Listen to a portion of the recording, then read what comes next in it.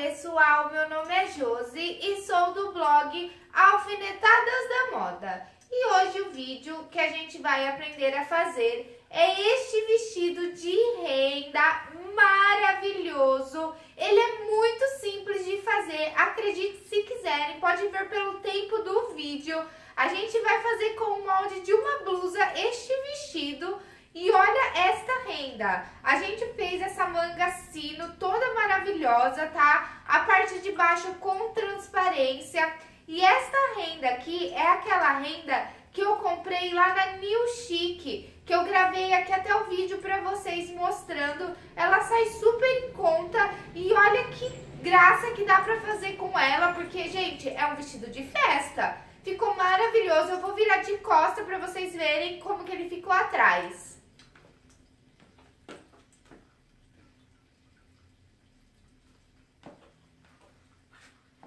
Então, ele é muito simples de fazer, ele é ombro a ombro, tá? Essa parte aqui de cima a gente forrou e a parte das mangas e a parte de baixo a gente deixou com a transparência. Eu adorei o resultado, eu achei que ficou um vestido super chique, lindo e tem outras cores dessa renda para quem quiser estar adquirindo. Então, se você quiser aprender a fazer este vestido maravilhoso, é só você ficar aí e continuar assistindo. Então, pessoal, para a gente fazer nosso próximo projeto, que como vocês viram aí no começo do vídeo, é um vestido. A gente vai usar para fazer esse vestido o molde dessa blusinha, tá? E aí a gente vai prolongar até o comprimento que vocês quiserem. Então, eu dobrei o meu tecido aqui, coloquei aqui na dobra do tecido. Eu vou cortar duas vezes frente e costas iguais, tá? Tá? Só que como ele, ele é ombro a ombro, então eu vou cortar um pouco abaixo ali para mim poder utilizar depois aquele barrado da renda se eu precisar. A princípio, a parte... Então, tudo que eu fizer aqui com a renda, nós vamos precisar cortar com um forro, tá? Eu vou usar uma elanca preta, porque como essa renda estica, e eu não vou colocar nenhum tipo de abotoamento, então eu preciso de um tecido que estique também, então eu tô usando uma elanca por baixo, tá? Tá? Então, é só a gente colocar aqui o molde, aí você vai traçar o, o tamanho que você vai querer e depois você corta no forro também, tá?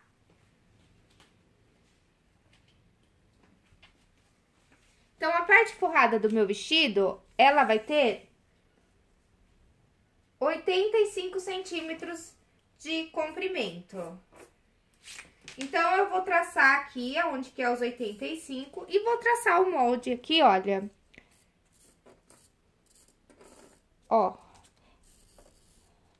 Lembrando de a gente deixar margem de costura, tá? Só pra vocês entenderem, ó. E aí, eu desço reto aqui, ó, porque é um vestido tubinho, né? Então, a gente desce reto.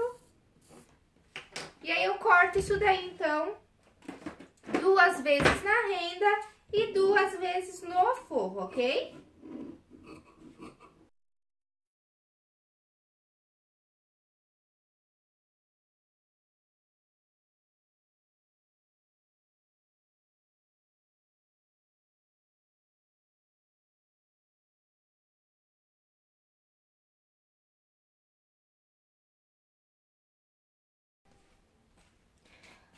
Agora que eu já cortei, eu vou utilizar o próprio molde aqui que eu tirei no tecido para cortar as outras partes, tá? Então, olha, eu cortei uma vez na renda, vou cortar mais uma vez na renda e mais duas vezes no forro, ok? Eu cortei, eu vou cortar tudo então e eu volto pra gente dar continuidade aí no nosso vestido. Já cortei as quatro partes aqui do meu vestido, duas vezes na renda e duas vezes no forro. A gente já vai unir isso daqui então. Então, como que a gente vai fazer? Você vai colocar, olha, o lado direito do seu forro virado pra cima. Aí, você vai colocar o lado do seu, da sua renda virado pra cima, tá? De um lado. Vamos pegar a nossa renda...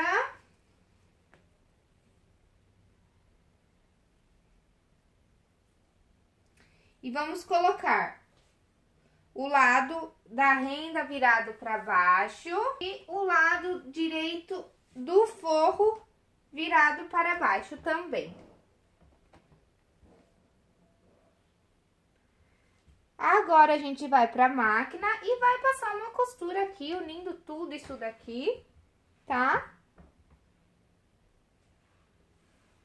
Somente nas laterais, tá? Agora, nós vamos tirar a parte da manga, tá? Então, a parte da manga, olha, aqui tá o meu molde. Eu já cortei uma, eu vou cortar ela bem mais comprida, tá vendo? Porque eu quero que ela fique caindo sobre o braço. Então, eu já cortei uma que eu vou usar ela como molde. Se você quiser que ela fique menorzinha, você usa o molde. Senão, você pode cortar aí, como eu, aí bem mais comprida, tá? Então, agora a gente já vai cortar as mangas. É só ir colocando o molde e cortando. Essa parte de baixo da manga, eu tô aproveitando aqui o barrado da renda pra ficar bonito. E a parte de cima não precisa porque a gente vai emendar aqui, ok? Então, agora eu vou colocando aqui o molde e vou cortando as mangas.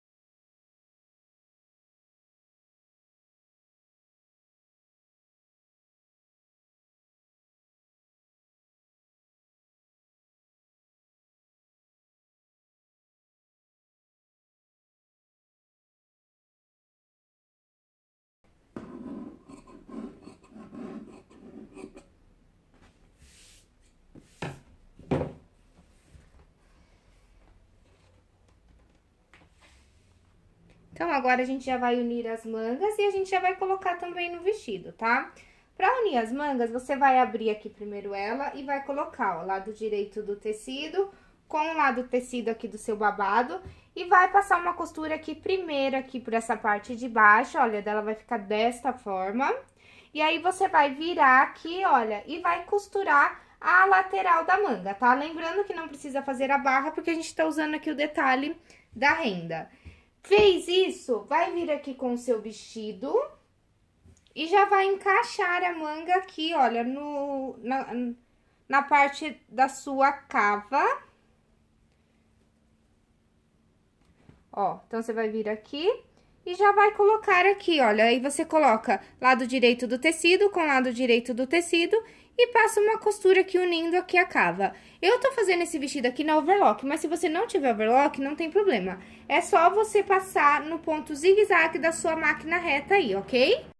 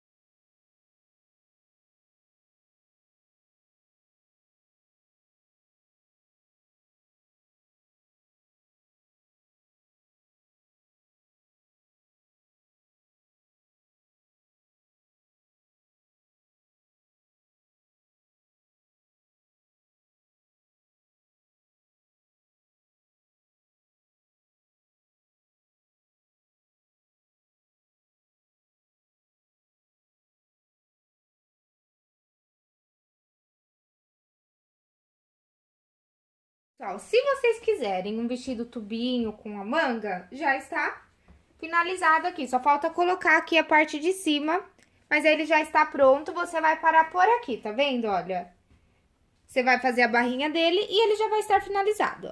Agora, eu não vou terminar por aqui. Eu vou colocar um babado nele embaixo, porque eu quero aproveitar esta parte aqui da renda, tá vendo? Então, eu vou fazer o quê? Eu peguei o tecido que sobrou, cortei duas tiras, porque uma só não dava, se der pra você cortar só uma, beleza? Ó, cortei reto mesmo, tem que ser reto pra gente aproveitar aqui o babado dele, tá? Aí, eu fiz duas costuras, eu uni pelas laterais, tá vendo? Olha. E passei um ponto aqui, número 5 da minha máquina, pra franzir isso daqui, franzir. Agora, eu vou encaixar isso daqui aqui na barra, tá vendo? Olha, aonde vai ficar toda essa transparência aqui, que vai ficar show. Então, eu venho aqui com o meu franzido e vou colocar aqui, ó, tem duas costuras. Então, as costuras eu coloco costura com costura e aí, eu vou encaixando aqui esse franzido e depois eu passo uma costura pra unir tudo, tá? É bem simples essa parte, mas também se você não quiser fazer esse, é, este passo aqui, aí você já terminou o seu vestido, vai ficar um vestido tubinho, tá? Eu vou fazer isso até pra aproveitar o tecido, daria pra fazer até outra peça aqui, porque a gente tem bastante tecido. Mas eu achei que ficou aí o resultado final lindo, né? Ó, e aí você vai encaixando aqui o franzido e depois a gente vai pra máquina passar uma costura aqui. É uma costurinha reta, então eu nem vou mostrar. Só vou terminar aqui de alfinetar tudo aqui. E aí eu volto aqui daqui a pouquinho pra gente fazer o acabamento ali da parte de cima do vestido. E acreditem, esse vestido Mara já vai estar finalizado. Muito simples, hein, pessoal? Olha isso. Rapidinho de fazer e olha o resultado deste vestido, né? Aí no comecinho do vídeo dá pra vocês terem uma boa noção.